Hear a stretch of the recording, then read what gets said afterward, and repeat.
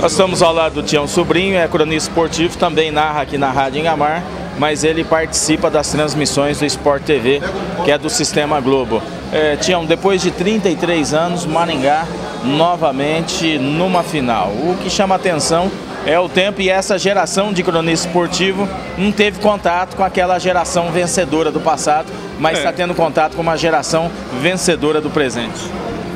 Olha, é, Falando assim amplamente a respeito desse assunto de decisão de estar a cidade de Maringá em uma decisão de campeonato paranaense, é, era difícil de acreditar no começo, mas a confiança existia por causa de um trabalho bem elaborado, com base, um trabalho que não começou nesse campeonato, é um trabalho que vem de longe. Quem acompanha o desporto maringaense, quem acompanha o futebol maringaense, sabe disso. E esse trabalho um dia daria resultado. Na minha é, modesta opinião, até um resultado um pouco mais cedo. A minha expectativa é de que esse resultado de se decidir um título paranaense acontecesse uh, daqui, pra, talvez para 2015 e tal. Mas já que pintou agora, por que não?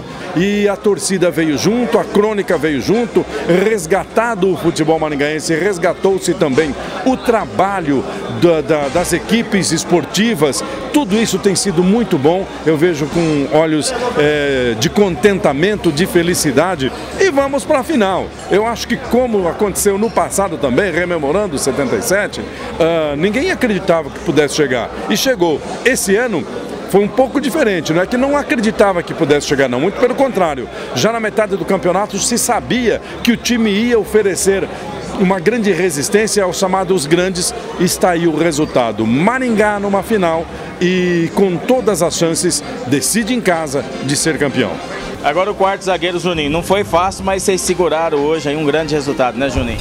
É, com certeza, uma equipe difícil, a gente sabia que eles precisavam do resultado e a gente jogou com, com o placar embaixo do braço, né? A gente soube fazer e fizemos uma grande partida e conseguimos o nosso objetivo que é a final. Agora esperamos o Atlético aí para fazer um, um grande clássico, né? Que vai ser um belo de um jogo. Pode ser o Londrina também, mas está mais pro Atlético. É, com certeza, a gente espera que o Atlético saia na frente, porque o placar deles está tá bem ampliado, né? Tony Silva, após 33 anos, Maringá numa final de campeonato paranaense. Como cronista esportivo, como é que você vê esse momento? Olha, feliz porque o time venceu e convenceu. Nos jogos, quando precisou, o regulamento debaixo do braço, a exemplo do jogo de hoje, sabia que tinha que se arriscar um pouco, se arriscou quando foi preciso, levou o resultado. Todos nós estamos felicíssimos, parabéns Maringá. E agora na final aí, Atlético Londrina? Tem chance de levantar a taça. O Atlético não é tudo isso, não é o bicho papão do campeonato. A impressão que eu tenho é que vai brigar pelo título, sem dúvida nenhuma.